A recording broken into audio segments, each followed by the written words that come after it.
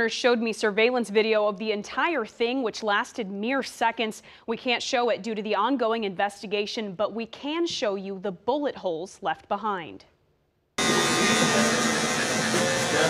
Walk into the Fade Kings barbershop near 29th and Q. You wouldn't guess that the previous day, this business was a crime scene. When he shot the shotgun, it missed by this much.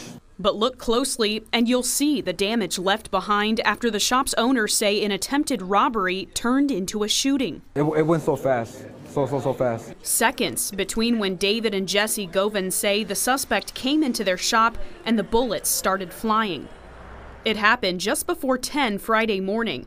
The Govan brothers tell me they were each working with a client when this man, 23 year old Lucas Ortiz, armed with a shotgun, dropped a backpack on the ground and said, Empty your pockets. And when he cocked the thing on my face to me and my cu- uh, customer, that's when I know, hey, he's not playing. And then I kind of looked at my brother and I threw the wallet on the floor.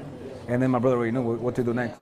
Jesse, a registered gun owner, keeps his weapon close. So I told him uh, put gun, put the gun down or gun down, and uh, you know I had I was pointing my gun at him, and uh, he just shot shot at me. The bullet whizzing by within an arm's length, hitting the mirror over Jesse's head. If he had uh, just regular you know ammunition like uh, pellets, it, it would have hit my customer and it would hit me.